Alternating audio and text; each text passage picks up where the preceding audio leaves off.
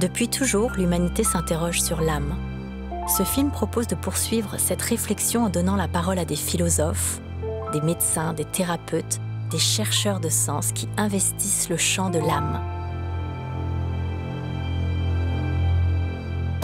Au fond de nous, il y a quelque chose de très beau, de très pur, mais on n'a pas appris à le voir. Et Jung nous dit euh, le, le drame de l'être humain au XXe siècle, c'est qu'il s'est amputé de son âme.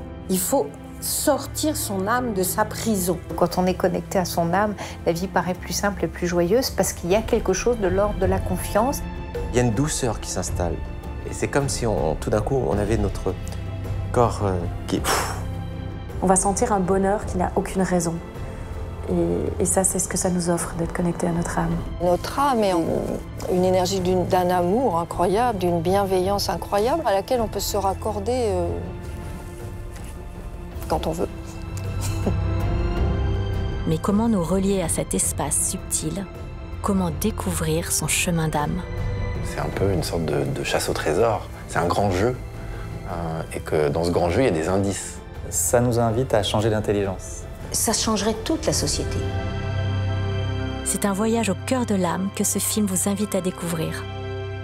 C'est, en tout cas pour moi, sans aucun doute, la plus forte, la plus haute, la plus, la plus vaste, la plus belle expérience qu'un être humain puisse faire. L'âme. Comment en faire une force dans sa vie?